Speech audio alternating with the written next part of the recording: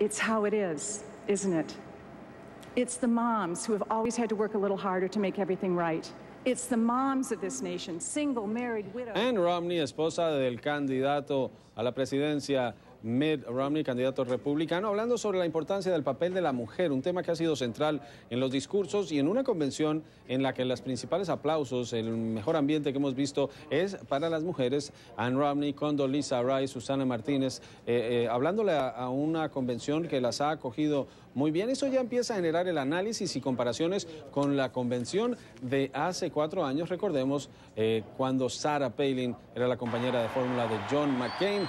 Vamos a empezar con el análisis. Nos acompaña aquí en Tampa está Juan Hernández, estratega republicano, y eh, me acompaña también María Teresa Cardona, estratega demócrata, ambos colaboradores políticos de CNN. Gracias por acompañarnos. Y bueno, María, la pregunta es el papel de la mujer. Tal vez lo que uno destaca demócratas y republicanos, se habla mucho de la mujer, pero no hay una mujer en ninguna de las fórmulas, no hay ni para vicepresidente ni para presidente, eh, entonces en eso están empatados pero el tema de la mujer durante estos, esta semana y el, decías, hacías tú un análisis que Paul Ryan hizo un discurso muy fuerte, pero que no se le critica por ser hombre como se le criticó a Sarah Palin. Sí, eso fue muy interesante porque yo oía comentarios anoche de que algunas personas decían que aunque Paul Ryan fue muy agresivo, no fue tan agresivo como lo fue Sarah Palin en el 2008 cuando ella estaba agresivamente atacando al presidente Obama.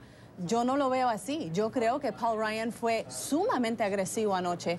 Lo único que hizo fue atacar al presidente Obama, pero como es hombre, no se le ve igual como una mujer haciendo los mismos ataques tan agresivamente. Y para mí eso es un poco de sexismo, yo creo, en la política y cómo se ve el papel de una mujer en la política demócrata o republicana. Pero acá la pregunta es, María y Juan, y le voy a dar la palabra a Juan. ¿Se podía esperar algo, discurso, algo distinto del discurso de Paul Ryan que atacar al presidente cuando lo quiere sacar de la Casa Blanca? Juan. Oye, perdón, pensé que todavía estabas hablando con María y, me quedé en shock porque oír a María defendiendo a Sarah Palin. Eh, increíble. Oye, Juan Carlos, oye, Juan Carlos y, María, de verdad, este ha sido la convención de la mujer, de la canción de My Girl, y nunca pensaron oírme cantar, ¿verdad? Que le tocaron a, la señora Romney hasta Estás igual que discurso de verdad se ha, se ha, presentado de verdad a la mujer en toda su categoría, desde obviamente eh, Ann Romney, pero también hablándole a las Walmart eh, mujeres, pero Condoleezza Rice que dijo, yo aunque fui discriminada de niña, que no podía comer en restaurantes, que no podía ir al cine, mis papás me dijeron, si tú quieres, Condoleezza, tú puedes llegar a ser presidente, lo cual por cierto ha hecho que todos estemos pensando si se va a aventar después. Y Susana Martínez que nos habló de cómo las niñas se le acercan a ella, una mujer republicana y que creen, especialmente las hispanas, de que pueden llegar a lo máximo. En esta convención se le ha dado un lugar muy, pero muy especial a la mujer, a ver, a ver si pueden hacer lo mismo los demócratas. Pero acá el tema, María, es, esto no es de casualidad. Se necesita el voto femenino. Se le está hablando, Juana, ese voto femenino. Eh, y la pregunta es, seguramente que los demócratas lo van a hacer. Anoche, durante el discurso eh, de Paul Ryan, una mujer que estaba muy cerca de nuestra cabina interrumpió el discurso eh, con una pancarta en donde decía, no legislen sobre mi vagina. Era el tema de los derechos reproductivos. Entonces, Juan, la estrategia se está notando, se está destacando, pero ¿va a funcionar? mira, yo pienso que... De eso se trata. Sigan.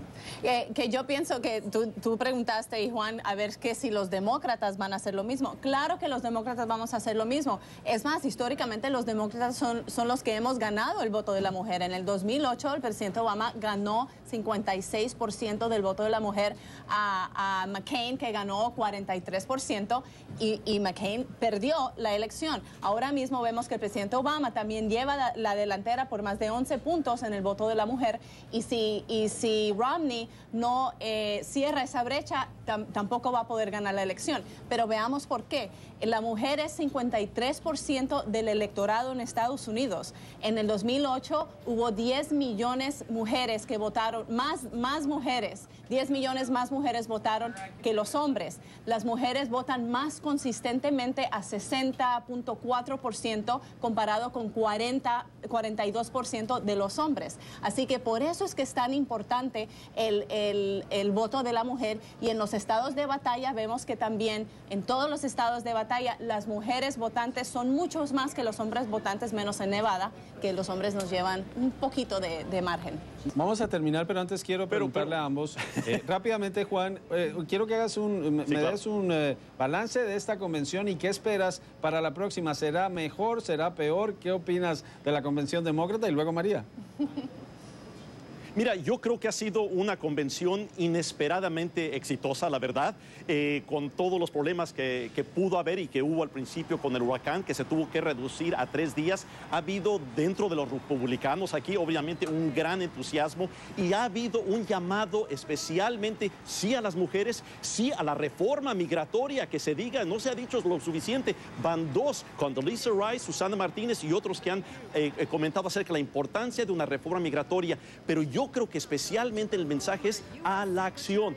Tenemos al presidente Obama que ha puesto acciones diferidas, incluyendo aquella de, de, la reforma migratoria, pero en todos los casos las mujeres ya no quieren acciones diferidas, quieren de verdad acción. Y ese es el llamado de los republicanos en esta convención tan exitosa. Y lo que vamos a ver de los demócratas eh, la semana entrante es que no solamente va a ser retórica, sino va a ser la acción que, que habla Juan, acción sobre una economía que le va a dar más fortaleza a la clase media, a la clase trabajadora, a las mujeres, a los latinos, no solamente con retórica bonita, sino con eh, posiciones y, y, política de que de verdad le den eh, a esas clases, de las familias de la clase media, la fuerza y la fortaleza económica para seguir adelante en este país. Pues veremos cómo transcurre esa convención, estaremos y ahí vamos en el a estar. Shadow, también estará María, Juan Hernández, seguiremos esta conversación y a ustedes, muchas gracias a ambos.